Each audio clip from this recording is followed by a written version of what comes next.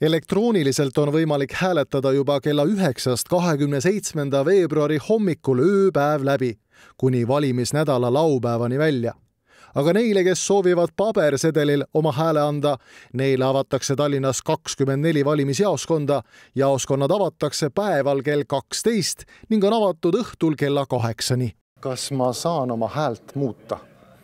Oma elektrooniliselt antud häält on võimalik muuta kuni laupäeval kella kahekümneni hääletades elektrooniliselt ja kui kodanik leiab, et ta siiski soovib äh, veel kord oma häält muuta, siis ta saab seda teha pabersedelil, tulles hääletama valimispäeval, viiendal märtsil. millised on aga läbi aegade olnud tüüpvead, mida inimesed valimiste ajal on teinud, mida nüüd saaks vältida?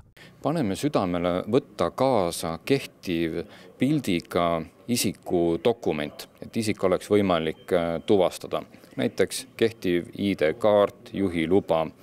teiseks, kui inimene hääletab äh, ja märgib äh, enda kandidaati hääletamissedelile, siis me palume seda teha võimalikult selgelt loetavas kirjas, sest et valija tahe peab olema ühemõtteliselt tuvastatav.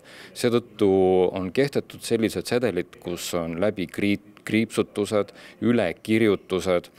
Äh, kui selline olukord juhtub et inimene näiteks on numbri valesti või, või ebaselgelt kirjutanud, siis see ei ole äh, probleem, tuleb võtta oma hääletamissedel ja minna jaoskonna komisjoni liikme juurde ja küsida endale uus sedel. Tallinna linn on valimispettuste riskid maandanud, aga kutsub inimesi siiski üles olema valvsad hääletuskabiini tuleb minna üksi, erandiks on erivajadusega inimesed, kui valija vajab liikumisel abi. samuti ka kodus kui keegi mõjutab teid valima kellegi poolt ja te ise kahtlete, siis leidke see aeg, et hääletada siiski privaatselt, toetudes oma siseveendumusele. häälte ostmine on lubamatu kui teil üritatakse mingi hüve soodustuse eest äh, paluda hääletada kellegi poolt, siis äh, tuleks sellest anda viivitamatult äh, teada politseile.